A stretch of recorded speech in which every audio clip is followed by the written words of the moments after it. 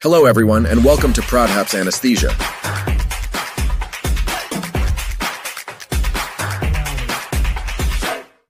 In this video, we are going to focus on special endotracheal tubes, which are devices that help us deliver oxygen and anesthesia to our patients during surgery. From this video, you will learn about the different types of special endotracheal tubes, such as flexometallic tubes, uncuffed tubes, RAE tubes, and more, and how they are used for various procedures. So let's jump right into the video.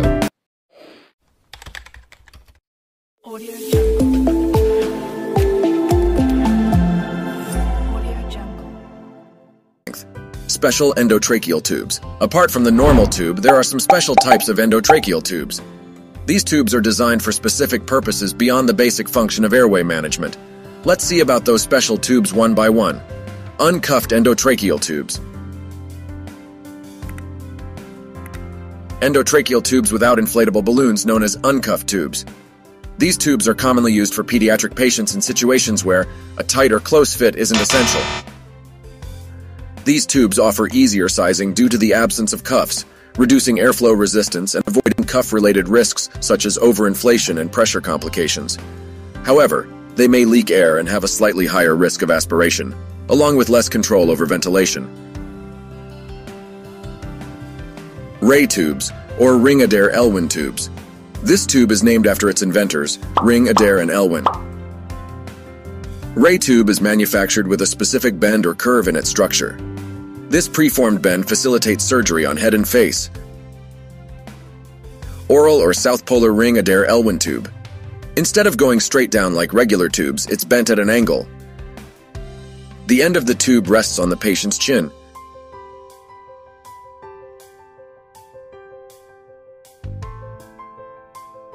The connector on the chest and the top end goes down the chin, away from the face. This setup makes it super useful for mouth, nose, or cleft lip palate surgeries. Nasal or North Polar tube. The nasal or North Polar version of the Ring Adair Elwin RAE tubes are designed to curve upward, kind of like a smiley face, over the patient's forehead. This curved design takes away the pressure from the nose. There's also an oral version of the tube that's like a hat tilted on the chin with the connector down near the chest. This one is great for surgeries inside the mouth. Both versions come in different sizes and can have cuffs, little balloons or not. The main advantage is the curve of the tube which helps to place the circuit away from the surgical field. Flexometallic tubes. It is also known as spiral embedded, armored, reinforced, wire reinforced. These are non-kinkable, non-collapsible, and therefore are very useful for head and neck surgeries where acute flexion slash extension of neck is required. Flexometallic tubes combine rubber, PVC, or silicone with a strong metal or nylon spiral wire inside for flexibility and durability. They resist kinking and maintain shape. These tubes are used in head and neck surgeries, used in spinal surgery, used in surgeries in prone surgery. Flexometallic tubes are specifically used in surgeries for the head, neck, and spine. They stay flexible and don't kink, making them great for these delicate areas. Microlaryngeal tracheal surgery tube. Microlaryngeal and laryngotracheal surgery tubes, known as MLT and LTS tubes, are specifically designed for microlaryngeal surgeries. These tubes are smaller in size and come equipped with a cuff. During microlaryngeal surgeries, which focus on the larynx, voice box, and nearby areas, precision is important.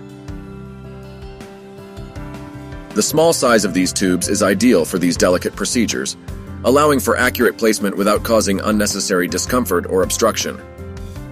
These specialized tubes are a valuable tool for surgeons performing microlaryngeal surgeries, ensuring a clear and secure airway for the patient, while enabling the medical team to work with precision in the intricate structures of the larynx and trachea. Double lumen tubes. Double lumen tubes are special tubes used for situations where only one lung needs to be ventilated or isolated.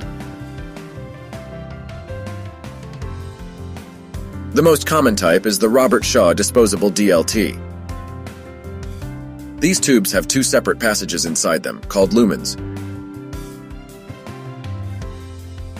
One lumen goes into the trachea for normal breathing, while the other lumen goes into either the right or left bronchus. The naming of right-sided or left-sided DLT depends on which bronchus the second lumen goes into. For example, a right-sided DLT has its bronchial lumen in the right bronchus, while a left-sided DLT has its bronchial lumen in the left bronchus. This setup allows the medical team to control and manage each lung's ventilation separately during procedures where one lung needs special attention.